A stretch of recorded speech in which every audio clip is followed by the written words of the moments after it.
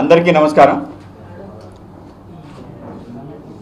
ఈరోజు రాష్ట్ర వ్యాప్తంగా ప్రజలలో భారతీయ జనతా పార్టీ పట్ల ఒక రకమైన భావన అందరూ కూడా ప్రబలడానికి స్వపక్షం విపక్షం అని తేడా లేకుండా అందరూ కూడా అటువంటి ఒక భ్రమలు కలిగించడం కారణంగా సోషల్ మీడియాలో కానీ ఇతర ఇతర విపరీతమైన భారతీయ జనతా పార్టీ పట్ల ముఖ్యంగా ఈ బడ్జెట్ నేపథ్యంలో అనేక రకాల విషయాలు రావటం విమర్శ ప్రతి విమర్శ జరుగుతుంది. స్వయంగా మా రాష్ట్ర అధ్యక్షులు హరిబాబు గారు ఇరవై ఏడు పేజీల నోటు ఢిల్లీలో దాన్ని రిలీజ్ చేయడం జరిగింది.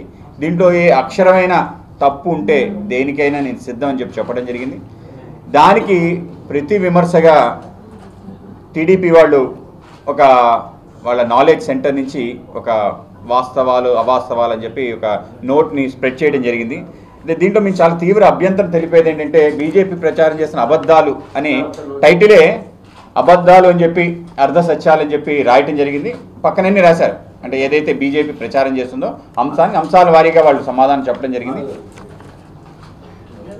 అంటే ఈ అబద్ధాలని అంటే పార్టీని బీజేపీ సంబంధించిన మా రాష్ట్ర అధ్యక్షుడు వాళ్ళ కేంద్రం అబద్ధం చెప్పిందని చెప్పడానికి కూడా మేము తీవ్రంగా ఖండిస్తున్నాం. ఈ విధమైన ఆలోచన మిత్రపక్షమైన తెలుగుదేశం ఉండటం చాలా దురదృష్టకరమైన విషయం.